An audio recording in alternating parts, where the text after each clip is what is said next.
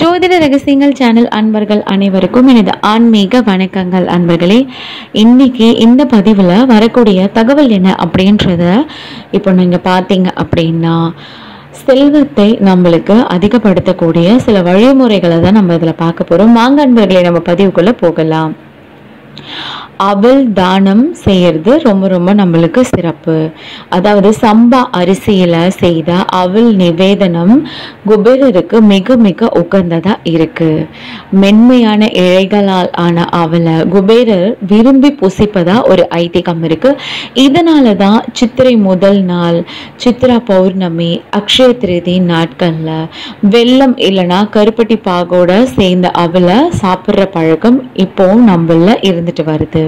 அப்புறம் கஜலட்சுமியோட அருள் நம்மளுக்கு கிடைச்சாலும் நம்மளுக்கு செல்வ வளம் சிறப்பா இருக்கும். தினமும் காலையில வெங்கடேச சுப்பிரபாதம் விஷ்ணு சகசிரநாமம் ஒழிக்கும் வீட்டில் லக்ஷ்மி நித்தமும் வாசம் செய்யறதா ஒரு ஐதீகம் இருக்கு.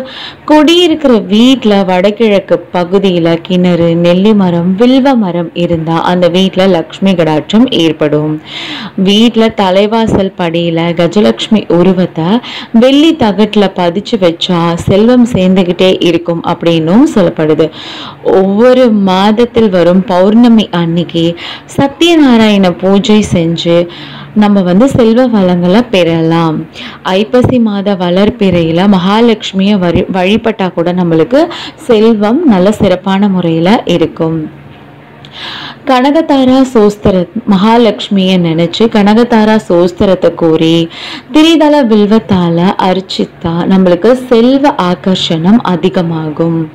சுத்தமான நீர்ல வாசன திரவியம் கலந்து இரு வேளையிலும் லக்ஷ்மி மந்திரம் கூறியபடி நம்ம தெளிச்சோம் அப்படின்னா செல்வம் நம்மளுக்கு சேர்ந்துட்டே இருக்கும். மஞ்சள் நீரோட வாசனை திரவியம் கலந்து வீட்லயும் தொழில் செய்யக்கூடிய ஸ்தாபனத்திலும் தெளிக்க ஐஸ்வர்யம் பெருகும்.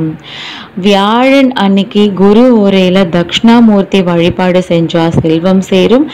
வெள்ளிக்கிழமை காலை சுக்கிர ஓரையில சுக்கிரன் மகாலட்சுமி இருவரையும் மல்லி மல்லிகை மலர் கொண்டு முப்பத்தி மூணு வாரம் நம்ம வழிபட்டால் செல்வம் சிறப்பான முறையில் நம்மளுக்கு அமையும்.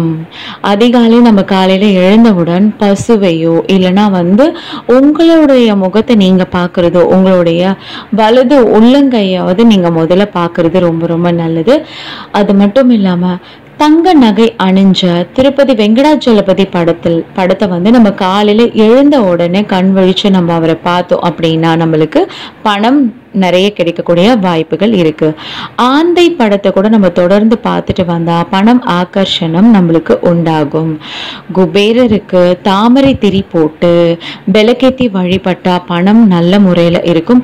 ஸ்ரீ ரங்கநாத பெருமாள் கோவிலில் பெருமாளுக்கு அணிவிச்ச சந்தனத்தை பெற்று அதை வந்து நம்ம தினமும் அணிஞ்சிட்டு வந்தோம் அப்படின்னா நம்மளுக்கு பணம் சம்பந்தப்பட்ட பிரச்சனைகள் தீர்ந்து பல சுபிட்சமான விஷயங்கள்லாம் நடக்கும். துளசி மாடம் அமைச்சு தொடர்ந்து அதனை நம்ம பூஜை செஞ்சுட்டு வந்தோம் அப்படின்னா தீமைகள்லாம் நம்மளை விட்டு நீங்கி நன்மைகள் உண்டாகும்.